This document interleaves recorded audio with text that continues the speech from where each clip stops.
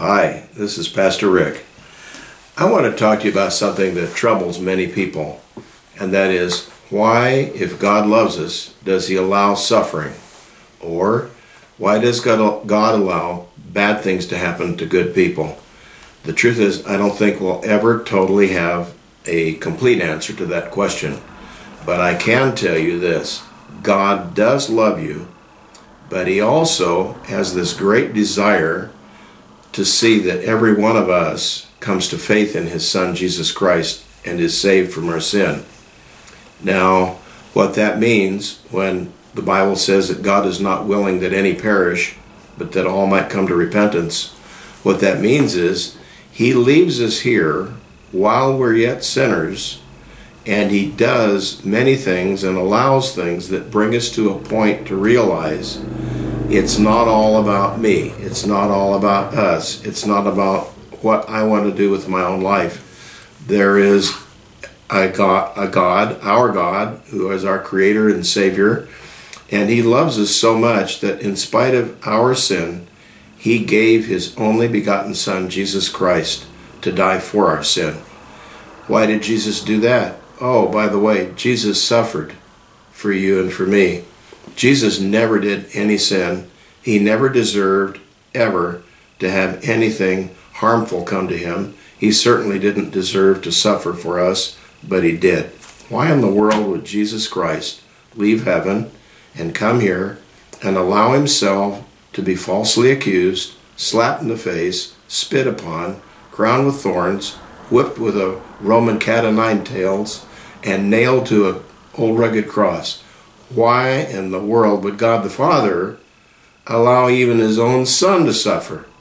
I'm going to tell you why. It's the ultimate and the most important purpose God has for sending his son to save you and to save me from our sin so that when we were once separated from God by sin, we could be reconciled to God by faith. When you and I come to a place in our life, we say, I'm really tired of living with this emptiness inside my heart. The emptiness that's in your heart and what used to be in mine is the place where Jesus Christ is supposed to reside in our life.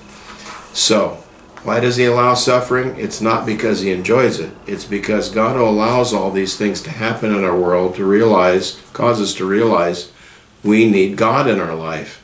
And to cause us to say, I need to go to him. And if the result of this, you're watching it today. My question to you is, why are you watching? Are you watching because you're curious? Are you watching because you're against what I have to say? Or do you want to know the truth? If you want to know the truth, the truth has a name. His name is Jesus Christ. I want to uh, read a passage of scripture talks about suffering and then just a brief quote and we'll end today. I consider this the sufferings of this present time are not worthy to be compared with the glory which shall be revealed in us. For the earnest expectation of the creation eagerly waits for the revealing of the sons of God. For the creation was subjected to futility, not willingly, but because of him who subjected it in hope. Because the creation itself also will be delivered from the bondage of corruption into the glorious liberty of the children of God. That is a mouthful, but it's a powerful, powerful truth that the entire world is subject to groaning under the curse of sin. He says, We know the whole creation groans and labors with birth pangs together until now. Not only that, but also who have the we who have the first fruits of the Spirit, even we ourselves groan within ourselves, eagerly waiting for the adoption, the redemption of our body. I don't know about you, but I have to tell you, the older I get, the more I groan. Every time I get up, you might hear some kind of a groaner coming out of me. And uh, that's the way the whole creation is because I, we're all under a curse in this life. But I have somebody who has saved me. His name is Jesus from my sin by faith in him.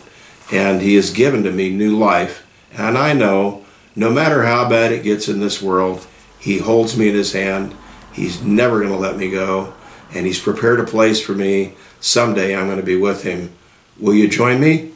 I hope you'll come and visit us soon. God bless you.